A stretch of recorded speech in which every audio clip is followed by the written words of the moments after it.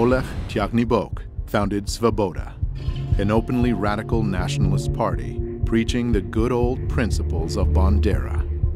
Вони готувалися і боролися з москалями, боролися з німцями, боролися з житвою і з іншою нечистю, яка хотіла забрати в нас нашу українську державу.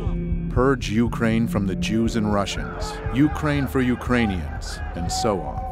His statements got him fifth place in the Simon Wiesenthal Center Top 10 Anti-Semitic World Leader Rankings of 2012. But also, sadly, attracted numerous followers. The most prominent among these extremist groups is an organization called Svoboda. The Svoboda Party, which traces its roots to the Ukrainian Partisan Party of World War II, was loosely allied with Nazi Germany. Until 2004, Svoboda had been called the Social Nationalist Party, a deliberate reference to the National Socialism of the Nazis.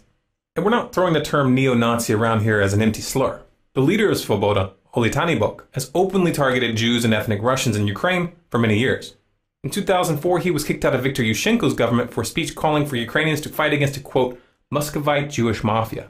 And in 2005, he signed his name to an open letter to the leadership of Ukraine entitled, Stop the Criminal Activities of Organized Jewry.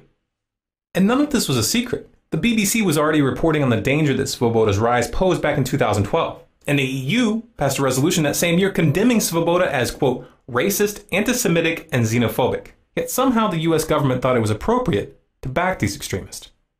This is a picture of Victoria Nuland from the US State Department meeting with Oleg Tyahnybok in February. And this is a picture of Senator John McCain sharing a stage with Tyahnybok in December. But why would the US government work with neo Nazis?